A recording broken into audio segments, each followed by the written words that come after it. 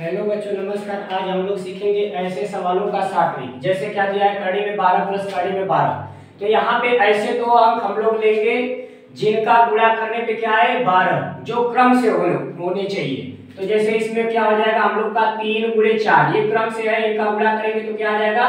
बारह। तो यहाँ पे ये प्लस में है, इसलिए यहाँ पे हम लोग किसको लेंगे? बड़ी संख्या को। तो बड़ी संख्या इसमें हमारी क्या है? गुणा में चार है। तो यहाँ पे हम लोग का क्या हो जाएगा? आंसर चार हो जाएगा जैसे अब यहाँ पे तीस है तो इसको भी क्रम से करेंगे, क्या हो जाएगा? पाँच बुढ़े छह। इनका बुरा करेंगे तो किसके बराबर हो जाएगा? तीस के। तो यहाँ पे माइनस है तो इसमें अब छोटी संख्या हम लोग लेंगे, क्या है हम लोग का? पाँच। ये क्या हो जाएगा? आंसर